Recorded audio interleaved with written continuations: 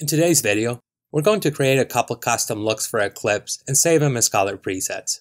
Welcome back to Color Correction in Final Cut Pro. This is part 12 of my full color correction series.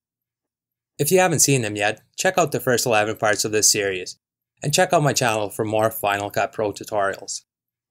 The first look, or color preset, we're going to create is a day for night look. We're going to take a clip shot during the day and make it look like it was shot at night, perhaps under a full moon. Let's try it out. I'll include the links for clips used in this tutorial in the description so you can download them and practice creating these looks with me. The first clip we have is of an actress doing yoga, clearly shot during the day. Let's select this clip and open the color board by pressing Command 6. To make this clip look like it was shot at night, first let's look at our exposure. We want to bring down the luminance of this clip, focusing mainly on highlights. We don't want to crash the blacks or even midtones any more than they need to be. Let's grab the highlights pack and bring it down significantly. And maybe let's bring down the shadows and midtones just a bit.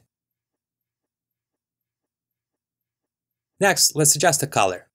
Let's go into the color tab, and moonlight is going to look really blue, so again let's focus on the highlights. We'll grab the highlights pack and add blue into the highlights to tint the scene. Now our image still has a red cast to it, so let's grab the global pack and take away some red from the image.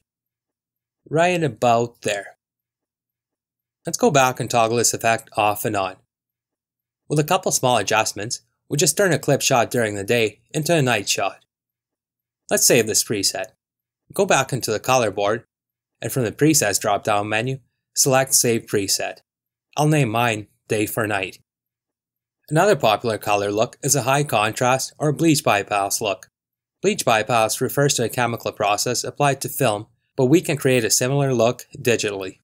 Let's try this out in our next shot that already has good contrast and color balance. In the color board, let's start with exposure. What we want is a very high contrast look, so let's take our shadows and bring them down until we're crashing blacks. Now let's take our highlights and bring them up until we start losing detail in the highlights.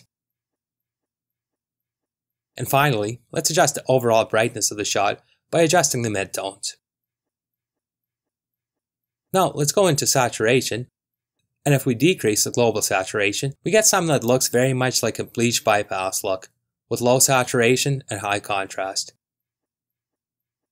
Let's save this preset so it can be used on other clips. I'll call this preset Bleach Bypass.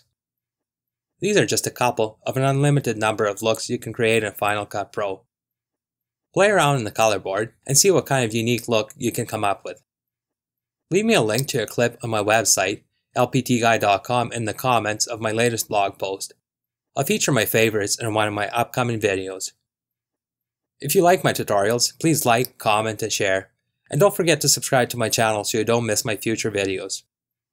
Thanks for watching, and I'll see you next time.